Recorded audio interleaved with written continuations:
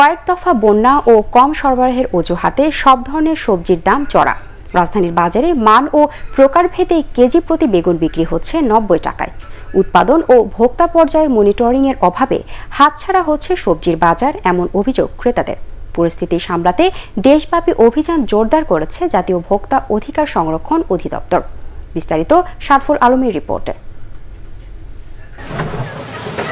সবজিতে ভরপুর রাজধানীর বাজার বেগুন, পটল, করলা শশা লাউ, ঢেঁড়সসহ সব ধরনের সবজির চাহিদাও বাড়ছে। তারপরেও বাড়তি দামেই এসব পণ্য কিনতে হচ্ছে ভোক্তাদের। বেগুনের কেজি আপনার এলো বর্তমানে, আমাদের পাইকারি কিনে পরে আশি টাকা। আমরা নব্বই টাকা বিক্রি- করি।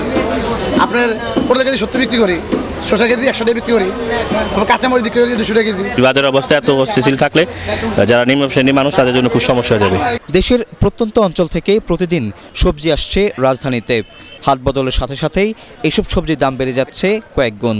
মান ও প্রকারভেদে বেগুন কেজি প্রতি বিক্রি হচ্ছে নব্বই টাকায় চড়া অন্যান্য সবজিও। যে যেখান থেকে আসে উৎস সোর্স থেকেই যাতে কম হয়ে আসে। যেখানে সবজিগুলো হয় একবার নষ্ট হয়েছে আবার করছে আবার লাগাইছে আর ওই সবজিগুলো নষ্ট হয়ে গেছে। কৃত্রিমভাবে সবজির দাম যাতে না বাড়ানো হয় তা মনিটরিংয়ে তৎপর রয়েছে বাণিজ্য মন্ত্রণালয়। পাইকারি বাজার এবং খুচরা বাজারের মধ্যে পার্থক্যটা কি? সেই পার্থক্যটা যদি বিস্তর হয় তাহলে যে এইটি পার্থক্য তৈরি করছেন তাকে আইনের আওতায় নিয়ে আসব। যখন যে জিনিসের দামটি অত্যাধিক হয় বলে আমাদের কাছে খবর আসে শুধু ঢাকা শহর না সারা বাংলাদেশে অভিযান পরিচালনা করে থাকি। শীত মৌসুমে নতুন সবজি উঠলে আবারও সবজির দাম কমে আসবে বলে মনে করছেন বিক্রেতারা। শরফুল আলম এটিএন বাংলা, ঢাকা।